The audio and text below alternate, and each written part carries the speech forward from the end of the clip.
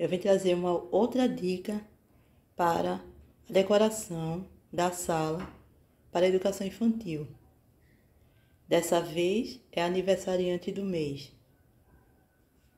Eu utilizei EVA colorido, coloquei umas fitas no balão e EVA com glitter para decorar as laterais. As letrinhas você pode baixar na internet, os desenhos também, super fácil. O meu eu utilizei, eu fiz eu mesma, né? Super fácil, barato. E vai ficar linda a sala. Espero que você tenha gostado dessa dica. E continua no canal que a gente vai trazer mais dicas para vocês como essa. Ok? Beijo e até a próxima.